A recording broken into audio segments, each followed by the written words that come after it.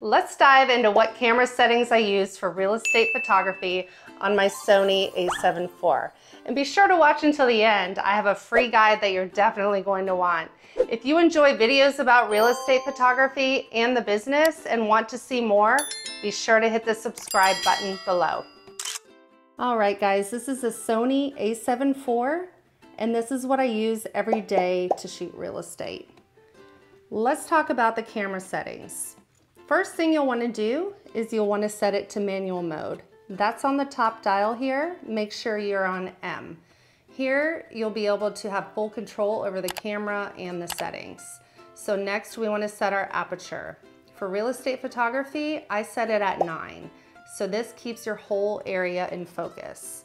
You'll see down here, I have F9, and what you'll do to change that is you'll toggle this back and forth till you reach nine.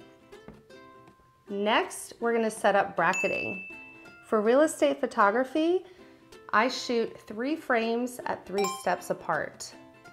How you do that is you click left button here, scroll down, and you'll see I'm doing three frames at three steps apart. So we're taking multiple images with different exposures. Next, you wanna set your ISO. I keep that between 100 and 320. So I use 100 generally for outside photos and 320 inside. And for twilights, I tend to bump it up to about 400. You'll press the right side of this circle here and you can toggle back and forth until you get the ISO that you need. Next thing I do is I set the camera timer.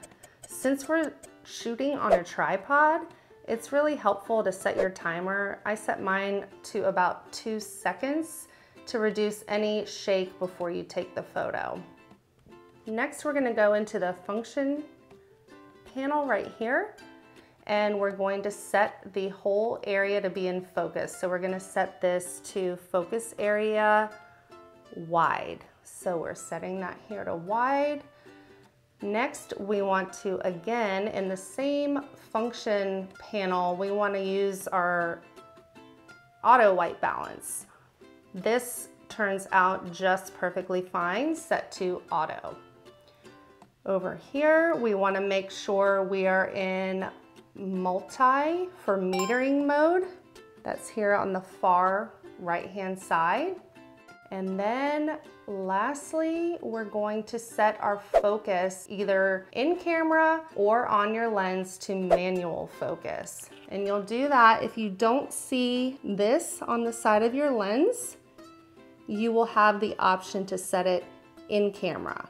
But you'll wanna set it on manual focus here and then on your lens, make sure you rotate the focus ring so that it is lined up with the infinity symbol. So when you're going to take the shot and you're doing this focus ring right here, you'll see it change from a number to the infinity sign. And one last thing, you'll wanna make sure you're shooting in RAW. So make sure you go to your menu key right there. You'll go to the camera, you'll go to image quality, and then image quality settings. So I have both of my slots, both of my memory cards set to RAW. So this is going to give you the most information for each photo, which also means more editing possibilities. So that's it guys. That's what I use every day for real estate photography. And you can do the same. So I hope you found those settings helpful. When I started real estate photography, I was definitely overwhelmed by all of the equipment and what to use and where to get it. I have formulated a free equipment guide with absolutely everything that I use today to run a successful real estate photography business, including direct links to the item. Click on the link in the description below. Enjoy, guys!